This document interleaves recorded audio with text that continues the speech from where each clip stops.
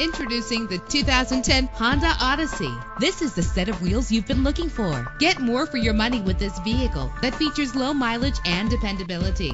Low emissions and the good fuel economy offered in this vehicle are important to you and to the environment.